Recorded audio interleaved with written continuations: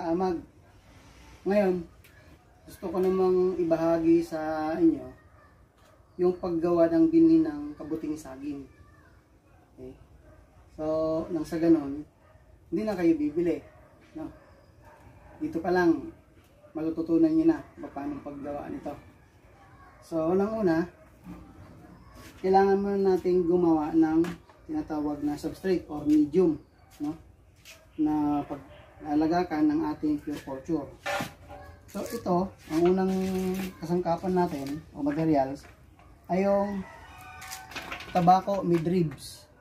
Ito yung mga tangkay ng tabako na waste material na binababad muna ito ng overnight tsaka tinatagtad ang ganyan, pino yun, ganyan ito, kalating timba so kalating timba ng chop na tobacco midribs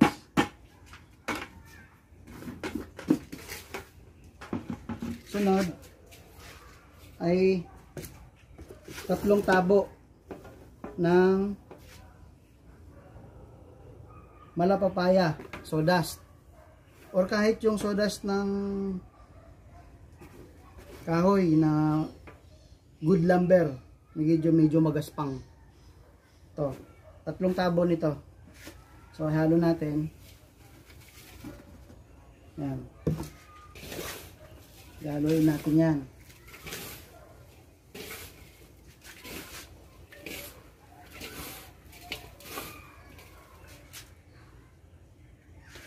Tapos, kalahating kilo ng harina.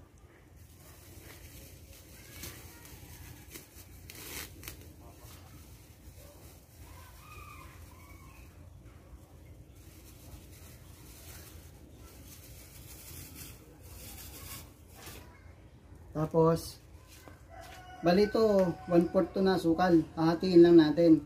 Kahit mga 100 grams lang nito. 100 grams ng asukal na pula. Tiin lang natin. Ayan. Saka natin haluin mabuti.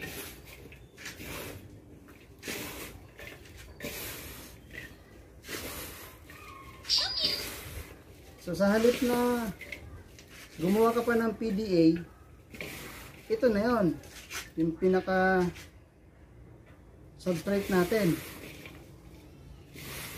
na pwedeng gamitin natin sa direct tissue no? Kailangan haluin mabuti para hindi magbukol-bukol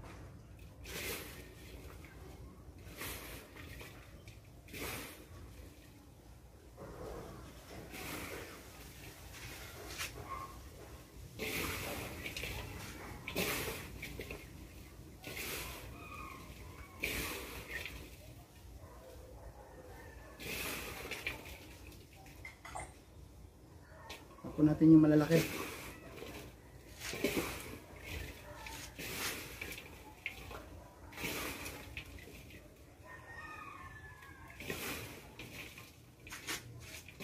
Ngayon, kung wala naman kayong tobacco med ribs, pwede naman yung ano, yung tangkay ng daon ng saging.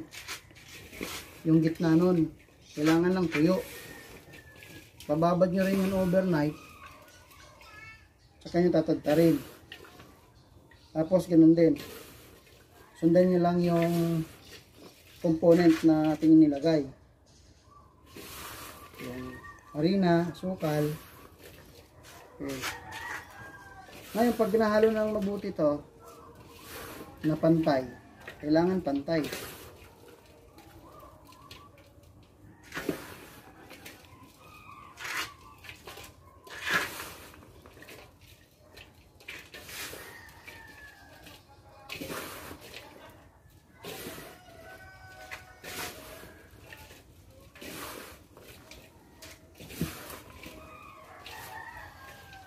Saka natin lagyan ng tubig.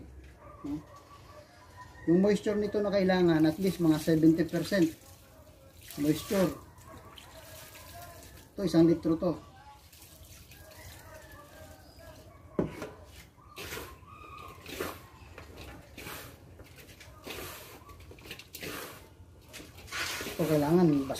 No? Kasi kailangan ng kailangan ng amag yung mamasa-masa.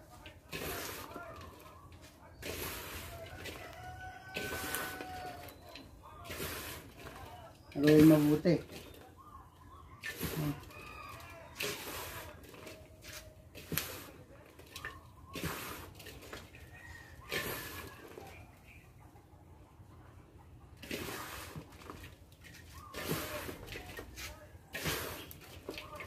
Yan. Pagkahalong-halo na, saka naman natin ngayon ilagay na sa bote ng mayonnaise. Oh, yan. Biniga mo, medyo kumakatas pa nga yan. Yan ang 70% moisture.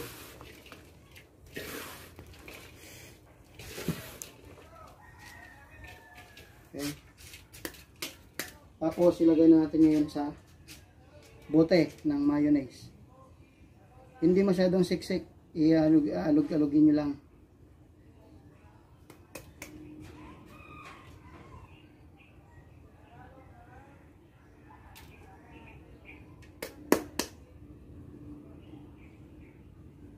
Yan, ganyan lang kadami. Huh? Ito tayong bote.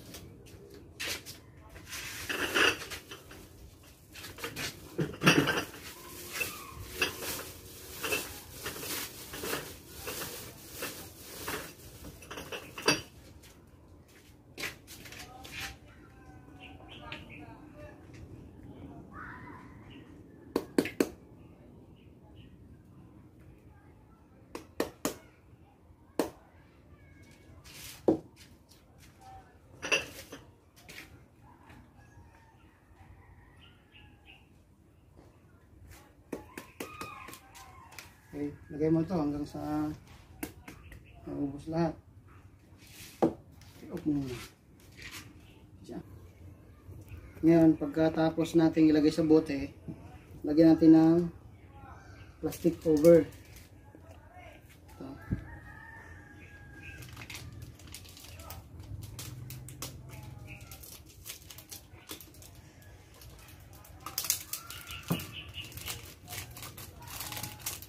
Tapos, saka natin sukin sa gitna para sa kanyang hingahan. Kaya natin lagyan ng papel at guma ulit.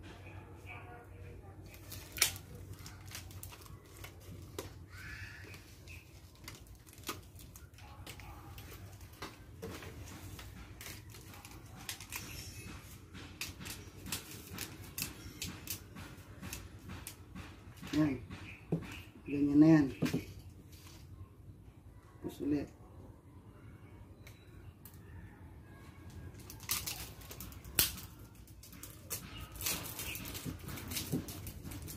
Tapos tusukin ulit. Tapos papel ulit. Ngayon kung meron naman may takip na, okay lang yung takip. Huwag lang hihigpitan yung takip kapag ka pinapasteurize. Kasi ito, for pasteurization na to.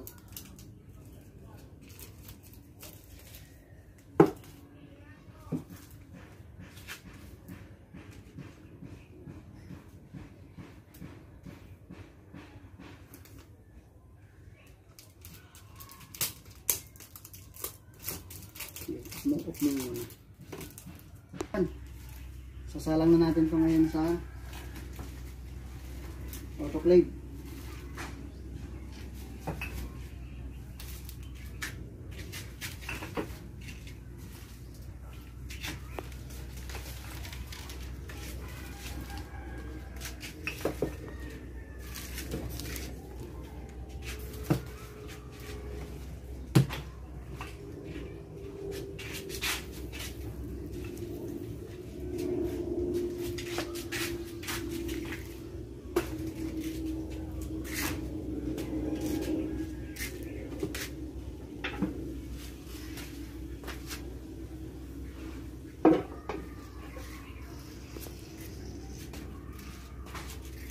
Armada natin.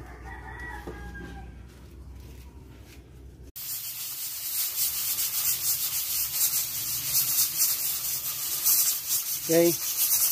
Ito naman ngayon na yung papasteurize ng mga nakabote nating medium or substrate para sa gagawin natin pure culture ng kabuting saging. Bali, ano to, ang requirement nito is 15 PSI for 1 hour. Okay?